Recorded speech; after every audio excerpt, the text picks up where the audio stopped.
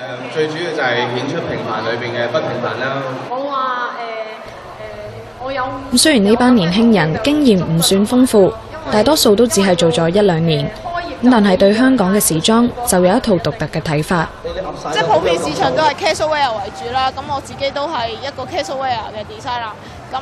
呃、一啲簡單嘅文化或者簡嘅配搭，或者都會靚咯。香港人做得。香港嘅衫係比較暫時仲係比較模糊啲嘅，係始終都係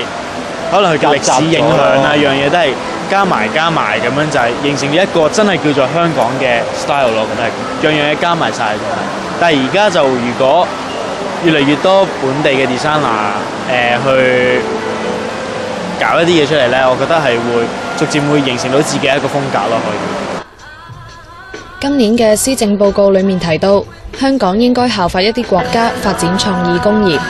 而時裝係其中一個政府認為條件最成熟、最有潛力打入國際市場嘅行業，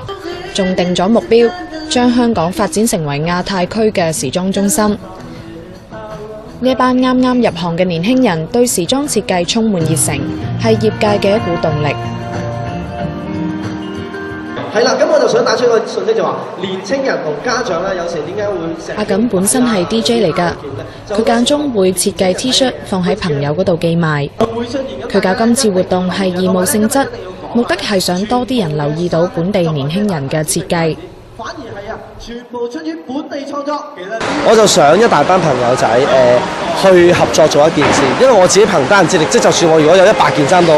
今次行呢個 fashion show 用途唔大咯，人哋唔會了解到